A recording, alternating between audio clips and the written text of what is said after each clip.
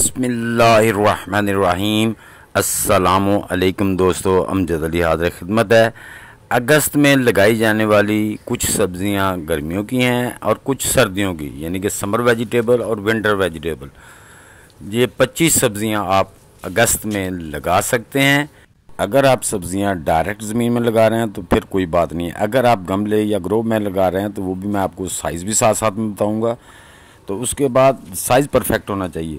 उसके बाद आपकी चॉइस है कि आप कौन कौन सी सब्ज़ियाँ लगा रहे हैं। तो उसके बाद दोस्तों, सवाल आता है कि आपकी मिट्टी जो है ना, वो अच्छी तरह फर्टिलाइज और जरखेज़ होनी चाहिए। उसके लिए आप भालू मिट्टी या आम जो नॉर्मल मिट्टी है, वो पचास परसेंट ले लें।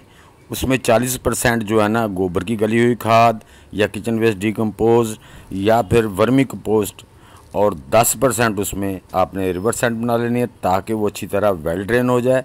दोस्तों मिट्टी आपकी जितनी अच्छी फर्टिलाइज होगी, उतनी ही आपकी वेजिटेबल अच्छी होंगी। सबसे पहले आठ वो सब्ज़ियाँ मैं बताऊँगा जो नर्सरी उगा के लगाई सकती हैं। नंबर वन पे आ जाता है दूसरों कॉलीफ्लावर फूल गोभी इसको आप अभी लगा सकते हैं, इसकी नर्सरी लगा सकते हैं।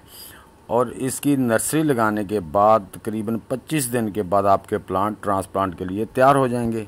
जब नर्सरी के पत्ते चार से पाँच हो जाएँ तो आप उनको किसी बड़े गमले में बारह कम अज़ कम बारह बाय बारह के गमले में या उससे बड़े गमले में ट्रांसप्लांट कर सकते हैं। आपको ये साठ से अस्सी दिन में काटने को मिल जाएगी। लेकिन नंबर दो दोस्तों पत्ता गोभी, जिसे आप अपना बंद गोभी भी कहते हैं, इसकी भी आपने नर्सरी उगानी है। नर्सरी उगाने के बाद जब आपकी नर्सरी बीस से पच्चीस दिन की हो जाए, चार से पाँच पत्ते हो जाएँ, इसके लिए भी आपको गमला कम अज़ कम बारह बाई बारह का या पंद्रह बाई पंद्रह का, बड़े गमले में लगाएँ और मिट्टी को अच्छी तरह फर्टिलाइज करके लगाएँ।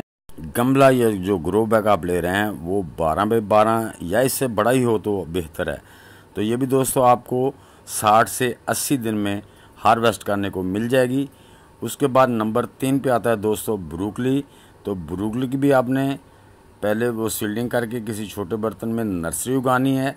नर्सरी उगाने के बाद जब आपकी नर्सरी पच्चीस दिन की हो जाए या एक महीने की जिससे चार से पाँच से छः पत्ते हो जाएँ तो आपने उसको बड़े, यानी कि बैग में, बारह बाई बारह के ग्रो बैग में या गमले में ट्रांसप्लांट कर देना है। ये भी आपको सत्तर से अस्सी दिन में हार्वेस्ट करने को मिल जाएगी।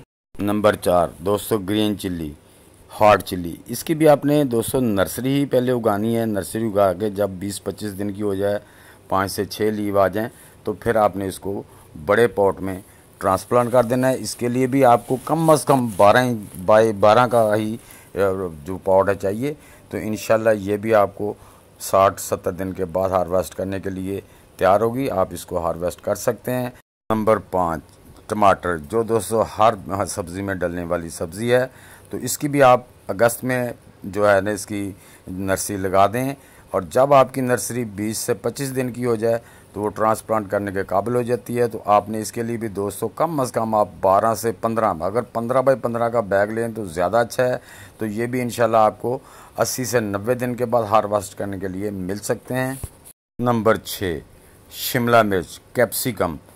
दोस्तों, आपने इसकी भी सीलिंग जो है ना, वो किसी छोटे बर्तन में करनी इसकी नर्सरी उगा लेनी है या आपके पास नर्सरी ट्रे है तो उसमें आप इसकी नर्सरी उगा लें।